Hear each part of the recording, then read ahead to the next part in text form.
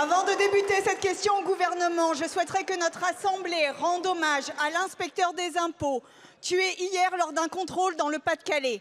Nous assurons ses proches de notre soutien, mais aussi de notre clairvoyance sur le rôle tout à la fois important et complexe que jouent actuellement les agents et agentes du service public, qui se trouvent en première ligne de la crise sociale et de la montée des tensions au sein de notre société. Ils et elles sont nombreuses à faire part de la montée de la violence à laquelle ils doivent faire face dans un contexte de fragilisation permanente de nos moyens et crédits. Nous demandons de respecter une minute de silence. Je vous remercie. Je vous remercie.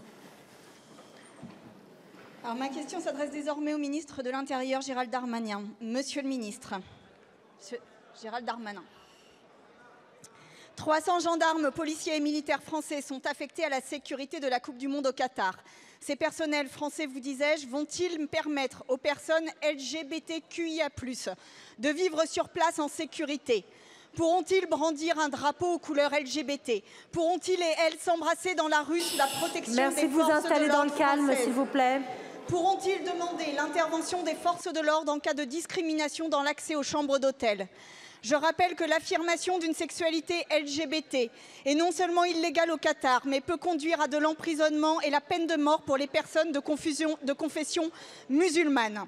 Selon le Guardian, les autorités qataries ne se contenteraient pas d'arrêter et violenter les personnes LGBT, elles auraient mis en place un système sordide visant à les obliger à dénoncer d'autres personnes LGBT pour échapper aux tortures.